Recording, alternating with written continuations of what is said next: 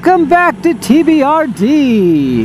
This week on the vlog, I'm going to be going over some exciting news coming out of the motorcycling world. Before I do that, I want to welcome all my subscribers back. Your support is always greatly appreciated, so thank you for tuning back in. And to anybody new to the channel, welcome. If you are so inclined, I ask that you consider clicking on that notification bell and subscribe button. So let's jump right into this. There's some real exciting news in the motorcycling world. And as often is the case, we are sometimes left looking at patents that have been filed to understand what is on the horizon in the motorcycling world. So, Honda has recently filed a patent for a new high-tech electric Grom. So if you're familiar with my channel, you know that one of the bikes that I sold that is kind of the one that got away was my Z125, my Kawasaki, kind of the Kawasaki version of the Grom. I love these little bikes. They are a ton of fun. So what's cool about the patent that Honda filed for this high-tech electric Grom? Well, a couple things that we can infer from the pictures. Whether or not all these things make it into production is another story, but it's got a slick-looking single-sided rear swing arm suspension, which is pretty pretty cool, especially on a Grom.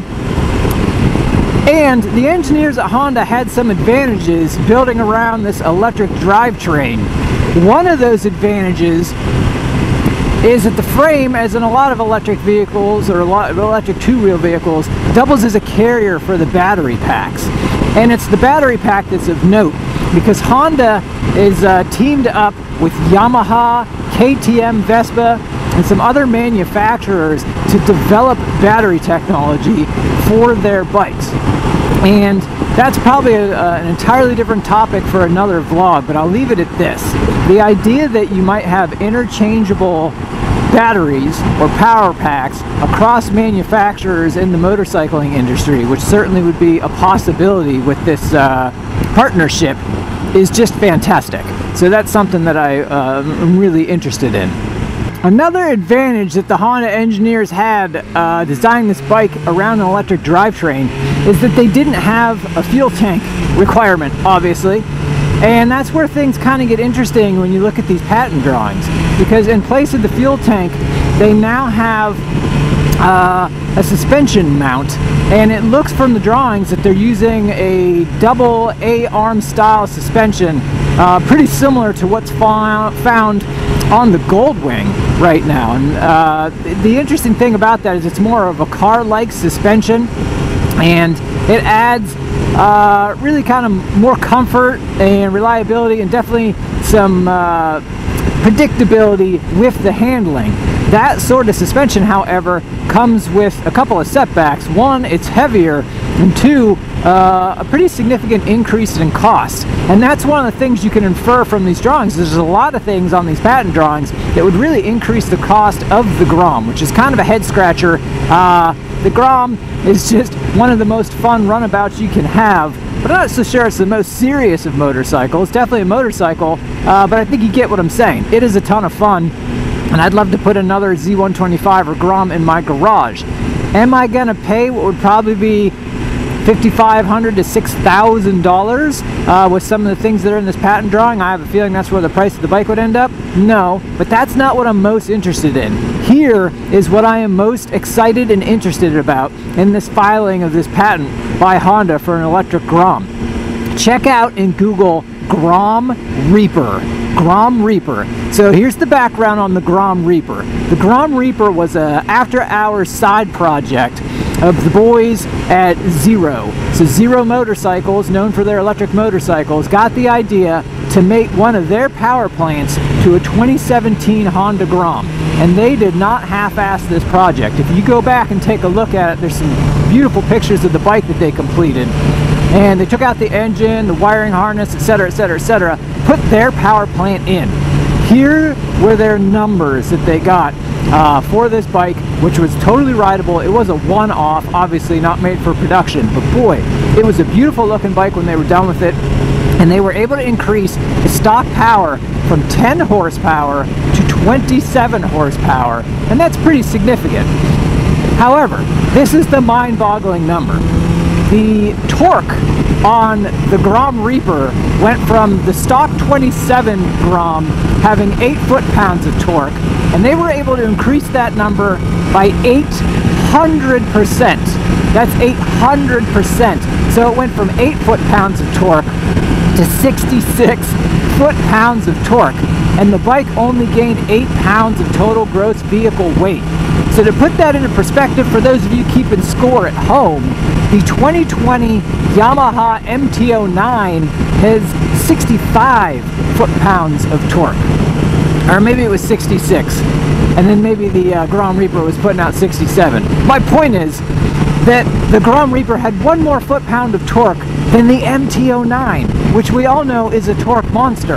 And we're talking about a Grom. That is a death sled, no matter how you look at it. That thing had to be so much fun to drive. It had to be a total wheelie and wheelie and hooning machine.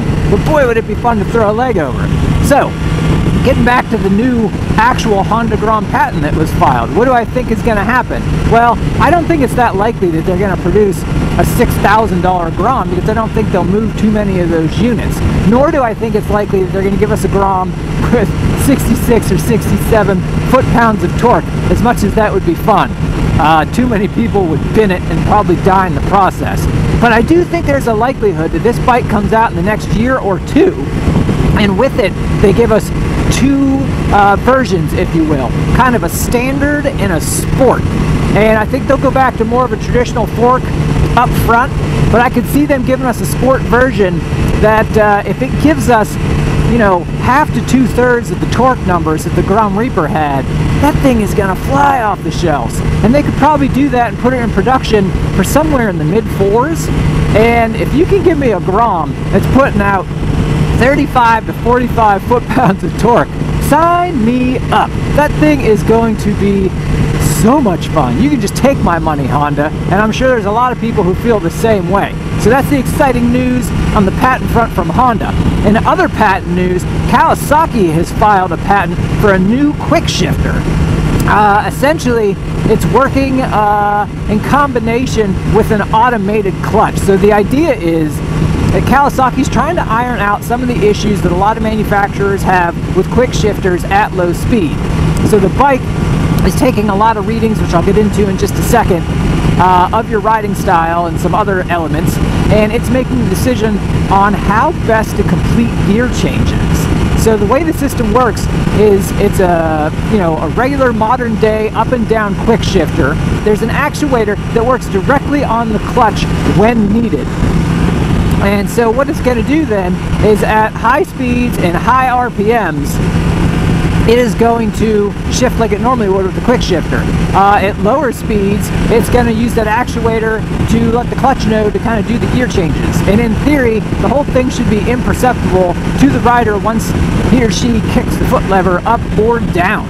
So that's kind of pretty exciting news. And if you know anything about Team Green or Honda, they have got some other patents filed uh, for hybrid motorcycles. And actually, I believe their hybrid project is set to come out later this year. And my guess is that this technology is going to surface somewhere in that line. And it's all pretty very exciting. So cool news coming out of Honda as well. Final bit of news uh, for this morning commute into work is that Marc Marquez is back in the fold of MotoGP, at least as recently as last night when I had checked it. So I am super excited to hear that. We need Marc Marquez uh, back in the mix. We haven't had a rider, you know, Marquez is a generational talent. Uh, pretty much since the early days of Rossi, we haven't seen anybody like him. And one of the things that's, you know, as exciting as the racing has been without him because it's wide open, there is nobody currently in that field who is, you know, kind of of the same fabric, who is just, who, who will do anything to win a race. You know, I talked a little bit about Joan Mir and the fact that I think he'll give his title a defense, but you know, he's not of the same cloth as that early Rossi or Rossi in his prime or Marquez. Uh, just look at how Marquez got injured. I mean, he had dumped his bike, was at the back of the pack, and then had raced all the way back through the pack before he binned it when he was pretty much ready to be on the uh, podium. Uh, about nine months ago and suffered that horrific upper arm injury. So I'm excited to see Marquez back, and my prediction would be if he is healthy and he stays healthy, he's going to be the man to beat, even though he meet the even though he missed the first two rounds. All right. Well, that is the news, and that is this week's vlog. I thank you for tuning in. As always, I ask you consider clicking that notification bell and subscribe button. And as I like to say, until next time, keep the throttle back. Well, not too far back as we come towards this stoplight, but as I like to say, keep the throttle back, the rubber down, and enjoy the ride.